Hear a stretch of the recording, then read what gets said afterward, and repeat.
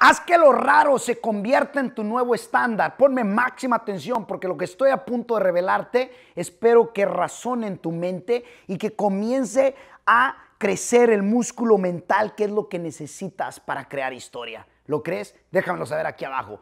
Felicidades y bienvenido, bienvenida al canal donde te enseñamos cómo desarrollarte a nivel personal, mental, emocional, espiritual para que sigas creciendo como inversionista de bienes raíces.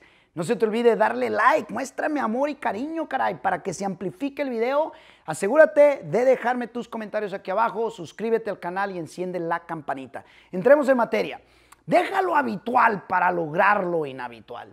Y son cinco puntos que te voy a taladrar en la mente y espero que repitas este video cuantas veces sea necesario. Vamos a entrar en la primera. Número uno, si quieres hacer tratos perrones, si quieres un trato perrón, un trato jugoso, un trato que hace la diferencia a nivel económico en tu vida, un trato que puedes comprarle la propiedad y cometer algunos errores y aún así ganarle, ¿ok? Un trato perrón. Si quieres hacer tratos perrones, deja de aprender del que hace tratos perritos, del que hace tratos eh, eh, eh, en la cual obviamente son flaquitos. Asegúrate, ¿ok? ¿Por qué? Déjame te explico. Hay un dicho que yo recuerdo que mi mamá me lo decía más seguido y también mi papá, pero ellos me lo recordaban. Dice, tenga cuidado con quien se junta. ¿Por qué? Porque dice, con quien lobos anda, tú termínalo. Asegúrate. Si entendiste el número uno, déjamelo saber aquí abajo. Número dos, si quieres libertad financiera, deja de escuchar a la persona que vive al día. No necesariamente sea empleado, puede ser empleado, pero hay personas que son emprendedores también, que viven al día. ¿Por qué crees? Por no tener la mentalidad correcta. Si es que, muy poderoso. ¿Estás o no estás de acuerdo? Déjame saber aquí abajo. Número tres, si quieres ser un inversionista, deja de perder el tiempo y ver las cosas como gasto. Un inversionista no ve las cosas como gasto. Por ejemplo, el inversionista piensa que nada más es invertir en bienes raíces. Déjame te explico que el activo de bienes raíces es un activo y una categoría. Pero ¿sabías tú que tú eres un activo también? ¿Sabías tú que la persona quiere aprender cómo invertir en los bienes raíces, que es uno de los activos muy, muy valiosos en la tierra? Pero te voy a decir una cosa, el activo de los bienes raíces, quítale el activo más importante que eres tú. ¿Y qué crees que sucede?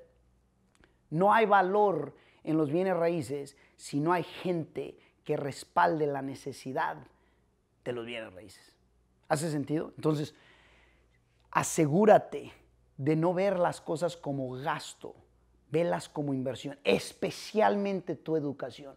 Especialmente. Hay gente que quiere invertir en los bienes raíces y no sabe cómo invertir en su propia persona. ¿Por qué? Ahora, si hay gastos, pero los gastos son lo que no te permite crecer, ¿ok? Lo que no multiplicas, aunque todo lo pudieras honestamente, en mi opinión, utilizar para crecimiento. Eh, hay crecimiento emocional, hay crecimiento eh, mental, espiritual y en ocasiones eh, hay crecimiento económico. Sin embargo, deja de ver las cosas simplemente como gasto y comienzas a verlas, o comienza, mejor dicho, a verlas como inversión. Eso es si quieres realmente comportarte, ser un inversionista, ¿ok? perrón. Número cuatro, si quieres vivir como el 1%, entonces deja de estar actuando, siendo, viviendo como el 99%. Y primero, es, te lo puedo decir que primero la idea comienza en la mente.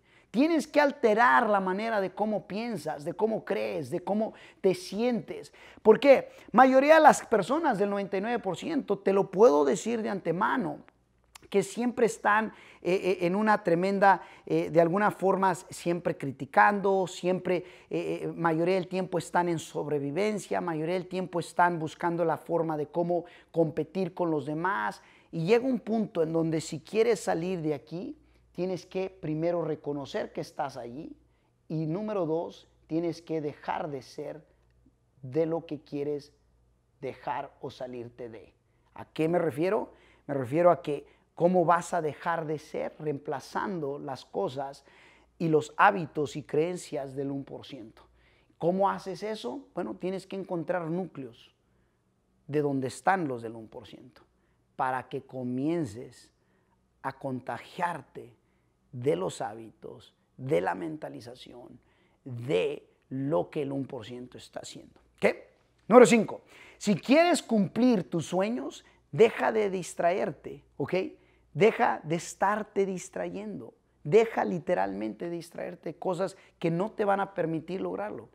Lo, más interesante es que yo escucho personas que dicen, es que yo tengo, este, tengo, tengo esta meta o tengo este sueño. Y cuando el sueño, la meta no está taladrada, enraizada, no está eh, eh, codificada, la distracción le gana y la distracción se vuelve más grande que el mismo sueño. En el caso que te estoy diciendo aquí, si quieres cumplir tus sueños, deja de estarte distrayendo. ¿Cómo te dejas de distraer? Asegúrate de codificarte de tu sueño. ¿Sale? Déjame saber aquí abajo qué es lo que tú te llevas. Felicidades por estar aquí con mi persona. No se te olvide suscribirte y encender la campanita. Gracias por haber compartido el video con los demás. Y si no lo has hecho, ¿qué esperas? ¿No te gusta el canal? ¿O no me aprecias? ¿O no te caigo bien? ¿O no me quieres? Compártelo no seas egoísta. Compártelo con alguien más.